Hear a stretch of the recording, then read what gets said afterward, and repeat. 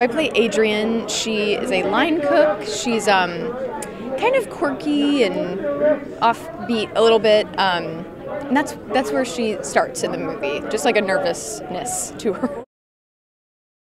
I've been a fan of his work for for so long, and I've been auditioning. I'm 26 now, and I think my first audition for him was when I was like 13 or 14. So I've had him in my mind and wanted to be in one of his films for so long. Um, so it just feels incredible, and yeah, he's like he's the best and just so brilliant and generous and also very funny. Um, and yeah, like an amazing person to work with.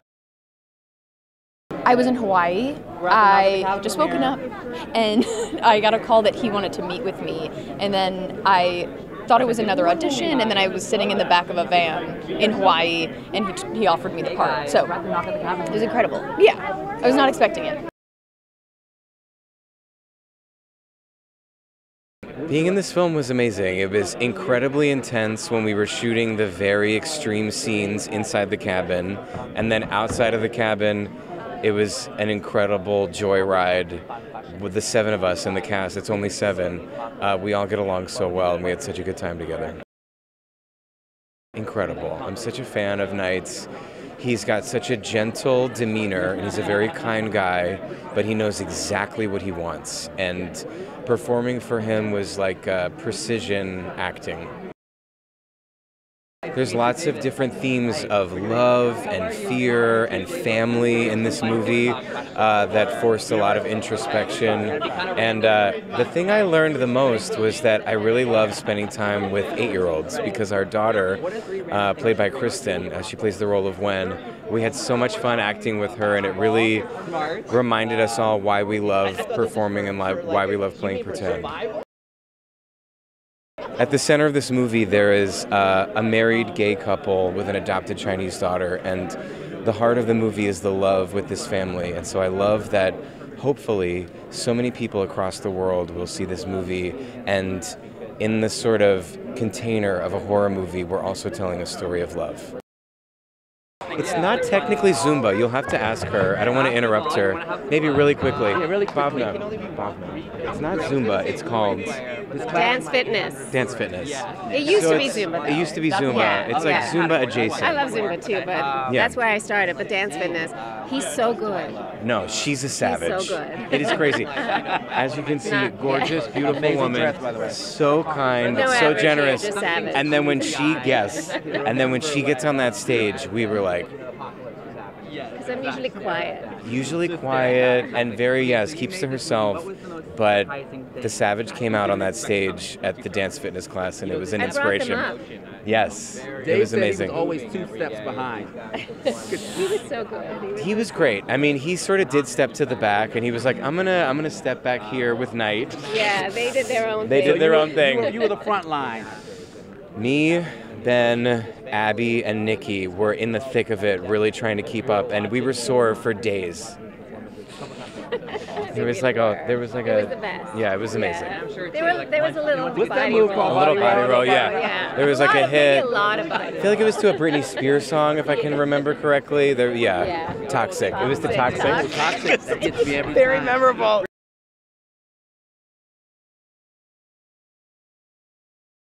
Have, yeah. I worked on his last movie, Old, and that was also uh, one location, all took place on one day, and with an ensemble. But this is a completely different roller coaster, a completely different ride. I love working with him. He's the loveliest man. He makes the scariest movies, but he's the biggest teddy bear. You know, he likes to push us to our limits, and I think that's really exciting when a director wants to push you out of your comfort zone and you discover new things about your work. And so, yeah, it was great. I'd definitely do it again. I play Sabrina. She's a nurse. She is a lovely woman. She's a caring woman. Night describes her as a healer. Um, but on the day that we meet her, she's she's been having visions, supernatural visions, and she's been called to do a very extreme thing. But she's doing it, she thinks, to save the world.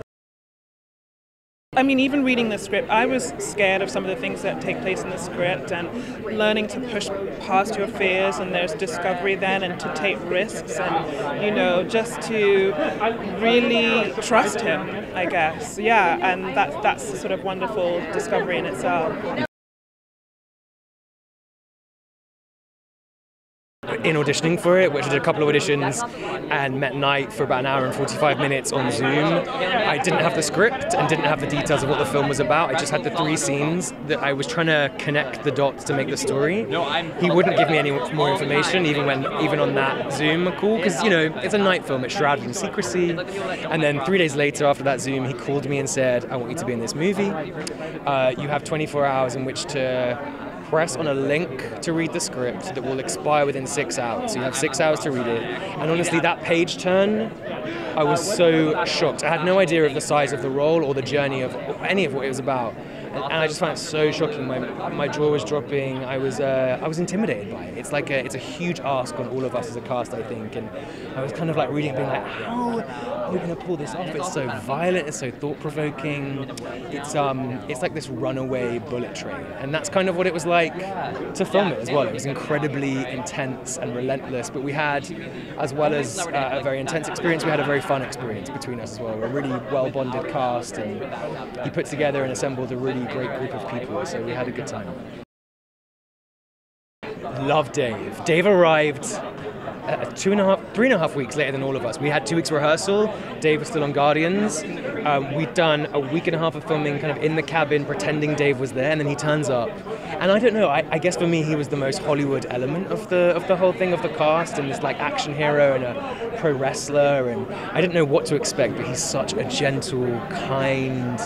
Um, I don't know, almost almost shy. And I think him and I were both kind of like we were really tasked with like doing a lot in this film, and I think we were both a little intimidated by it. But um, he just led he led the company so well. He's such a such a great man. It feels overwhelming to have accomplished this. I mean, I've been waiting for this moment for such a long time.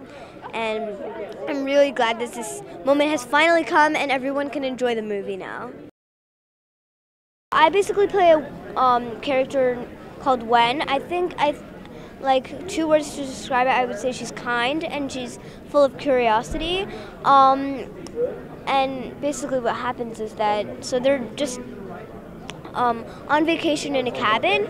They're trying to enjoy themselves when suddenly, out of nowhere, Dave Bautista's character comes knocking on the door, and um, a bunch of stuff happens. Everybody was so good, but I think I most bonded with Daddy Andrew because of his deep emotion that like pushed me into Wen. When I watched it, it was like very creepy. It was nail biting, and it was just it was hard to describe. It's a thrilling film that that um, really brings out the emotion to it. Yeah, this was a wrap gift from the two dads. I really like it. Um, it says da- Tiny Daughter on mine. It says Daddy Andrew and Daddy Eric on the other ones, which I really enjoy. And on the other side, there's a picture of a family.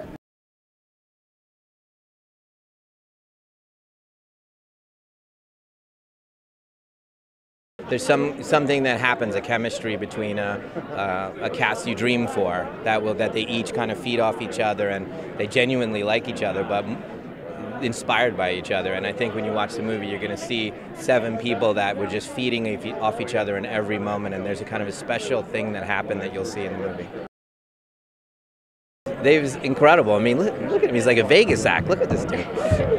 Uh, he, he's just the sweetest guy. He's like, you know, he has all these tattoos and muscles and all this stuff, but he's like the sweetest guy, like the child, like a child, which is what the role is, like this giant that that is actually a child. And um, when he when he came in, I was like, dude, get as big as you can. So he gained 30, 40 pounds for us uh, before he walked through that door. Just an amazing guy, and uh, you know, he has tons of monologues in the movie, and just did a beautiful job.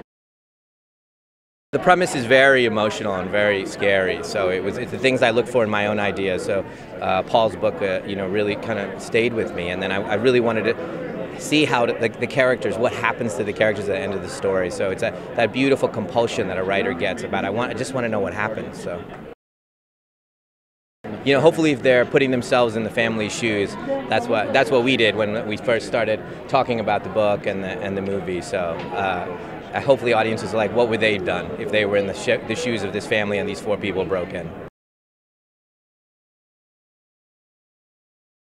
You know, so weird because I was I probably bigger in this film than I've ever been in any other film, but it was really all about performance uh, for me and for Night as well. So yeah, it's a it, you know it's a weird like it's a head game. This this whole film, the whole performance is all like a you know, one big head game. But it's something I've been searching for for years because I said you know for years that I set out to be you know an actor, not a movie star. I could care less about the spotlight, about fame, and I was never chasing paychecks. I just wanted to be a better actor. So when I got the script and opened up and read through it, I was like, this is my opportunity. Leonard is a tortured soul. He is a man who is the most gentle, kind person you've ever met, but he is being forced to do really horrible things. I think the funniest thing, we probably all agree, is the day we all did Zumba together. we did a Zumba class um, together that was taught by Night's wife and it was uh, Knight. Actually, he didn't think that I would go, but he said he would go if I went. And of course, I'm like all about doing some Zumba, so I said, of course I'll go. So I was always like two steps behind. So when I'm like supposed to be facing one way, like everybody's facing me, and I know I'm supposed to be fa- facing that way, but I'm always too late. So by the time I turn around this way, they're facing this way, and it's like I was always behind, but I was having so much fun that I didn't care.